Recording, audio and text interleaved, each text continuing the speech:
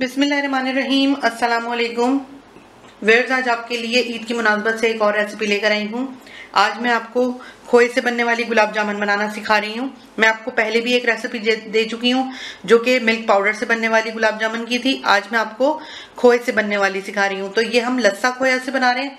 इसे ज़रूर ट्राई कीजिएगा और अपने फीडबैक दीजिएगा। तो इसके लिए जो इंग्रेडिएंट्स हमको चाहिए हैं, चलिए आइए सबसे पहले उन्हें नोट डाउन कर लेते हैं। गुलाब जामुन के लिए सबसे पहले हमने लस्सा खोया लिया है। लस्सा खोया मिठाई वालों की दुकानों पे मिलता है, वहाँ से आप आराम से ले सकते हैं। कराची के अंदर दो जगह आपको बता देती हूँ, लालू खेत में आराम से मिल जाता है हर जगह। उसके अलावा आपको अयूब मंजिल के ऊपर दस्तगीर में रॉयल स्वीट से मिल जाएगा। लस्से खोई की जगह आप वो खोया भी इस्तेमाल कर सकते हैं, जो मैं आपको एक वीडियो में सिखा चुकी हूँ। मिल्क पाउडर से जो मैंने बनाया है उसका लिंक आपको नीचे डिस्क्रिप्शन बॉक्स में भी मिल जाएगा और कार्ड्स में भी मिल जाएगा। तो आप वहाँ से देख के उसे तैयार करके उससे भी गुलाब जामुन बना सकते हैं। ये एक पाव है, यानी कि 250 ग्राम इसके अंदर हम मैदा इस्तेमाल करेंगे सिक्स टेबल स्पून लेवल्ड यानी कि वन थर्ड कप आधा हम अंडा इस्तेमाल करेंगे। अगर आप इसको वेजिटेरियन बनाना चाहते हैं, अंडा नहीं इस्तेमाल करना चाहते तो फिर आप इसके अंदर दो से तीन टेबल स्पून दूध के इस्तेमाल करेंगे। पैन को चूल्हे पे चढ़ा के हम इसके अंदर सबसे पहले दो कप पानी के डालेंगे। अब इसी के अंदर हम चीनी भी डाल देंगे। कार्डमम पाउडर भी डाल देंगे, यानी इलायची का पाउडर। अब मीडियम फ्लेम के ऊपर हम चीनी को घोल लेंगे अच्छे तरीके से। ये डिजोल्व हो जाएगी पानी के अंदर। चम्मच बीच में एक आध दफ़ा चलाते रहिएगा, क्योंकि कभी कभार चीनी भी चिपक जाती है। चीनी अच्छे तरीके से डिजोल्व हो गई है और पानी में जोश आने लगा है। अब मैं इसे मीडियम फ्लेम के ऊपर ही पाँच मिनट अच्छे से पकाऊँगी और फिर चूल्हा बंद कर देंगे और इसमें केवड़ा और लीमू का रस डालेंगे। तकरीबन इसको पकते हुए शीरे को आठ मिनट हो गए। मैं इसके अंदर डाल रही हूँ ये केवड़ा वाटर और इसके अंदर मैं साथ ही डाल रही हूँ लीमू का रस। अच्छे तरीके से इसे मिक्स करते हैं। अब गुलाब जामुन बनाने की बारी है तो हमने गुलाब जामुनों के लिए खोया ले लिया है, उसे तोड़ लिया है इस तरीके से। इसके अंदर हम डालेंगे थ्री फोर्थ कप या छः टेबल स्पून मैदे के। दो चुटकी नमक बेकिंग पाउडर पहले इसे मिक्स कर लेते हैं।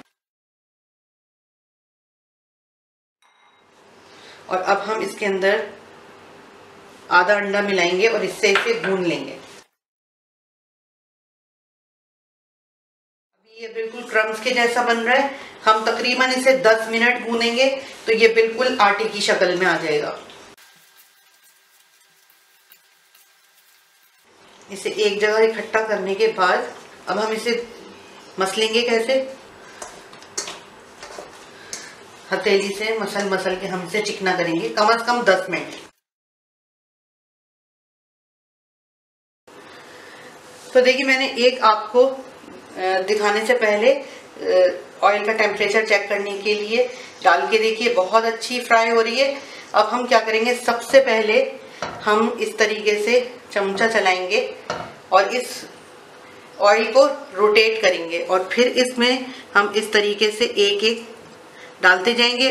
आँच बिल्कुल बिल्कुल स्लो है और बिल्कुल स्लो आँच के ऊपर इनके अंदर बबल्स उठने शुरू होंगे। मैं आपको दिखाती हूँ कि इस वक्त ऑयल का टेम्परेचर कितना स्लो है। देखिए, बिल्कुल आहिस्ता आहिस्ता बबल्स उठने शुरू हुए इस वक्त आपने तेल को इस तरीके से हिलाते रहना है, वरना नीचे एक गोल पैच बन जाएगा, जैसे कि अक्सर बना हुआ होता है। बस आपने इस तरीके से घुमाते रहना है। जिस तरफ़ ये जा रही है, उसके अलावा हटके आपने इस तरीके से ऑयल को घुमाते रहना है। ये सब तरफ़ से इवनली फ्राई होने स्टार्ट हो जाएँगे। बिल्कुल ताज़ा फ्रेश ऑयल लेना है, कढ़ाई धो के इस्तेमाल करनी है। बिल्कुल इसके अंदर किसी चीज़ की बूनी होनी चाहिए, वरना ये गुलाब जामुन जो है, फ़ौरन उसके अंदर उसका जायका आ जाएगा। और आपने सुफिशियंट ऑयल लेना है, ताकि ये बिल्कुल अच्छे से डूबी रहे। आधी आधी डूबी होंगी, आधी निकली होंगी तो बहुत बुरा सा रंग आएगा इनके अंदर। ये देखिए। बस मैं सिर्फ़ ऑयल साइड में से हिला रही हूँ। बिल्कुल मैंने गुलाब जामुनों को हाथ नहीं लगाया है तो देखिए, जो मैंने शुरू में डाले थे, वो अच्छे गोल्डन कलर के हो गए, उन्हें मैं निकाल रही हूँ। और आपने एक बैच एक ही दफ़ा में डालना है अलग अलग नहीं डालना है, देखिए। कितने अच्छे खूबसूरत रंग के हुए इनको मैं निकाल के और डायरेक्ट शीरे में डाल रही हूँ।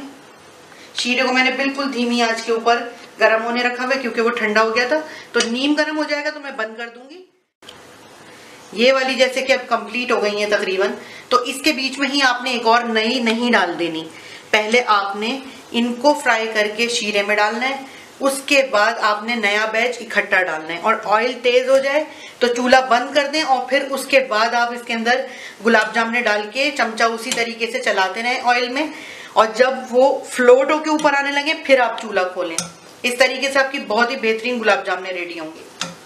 तो अब ये भी हो गई है अच्छे से कलर की। इनको भी मैं निकाल लेती हूँ और निकाल के मैं डायरेक्ट इनको शीरे के अंदर डाल देती हूँ। अब मैं चूल्हा बिल्कुल स्लो कर दूँगी और अपना अगला बैच डालूँगी। तो हमारी गुलाब जामुन बहुत ही अच्छे तरीके से ये देखिए इस, इसके अंदर भीग गई हैं और अब आप ये देखिए बिल्कुल आपके सामने एकदम सॉफ्ट गुलाब जामुन एकदम। ये देखिए। तो मैं आपको एक काट की भी दिखा रही हूँ। ये देखिए। कितनी अच्छी, एकदम सॉफ्ट और अंदर तक से शीरे से भरी हुई गुलाब जामुन हमारी रेडी हुई है। तो हमारी बहुत ही मज़ेदार और सॉफ्ट गुलाब जामुन बिल्कुल रेडी हैं।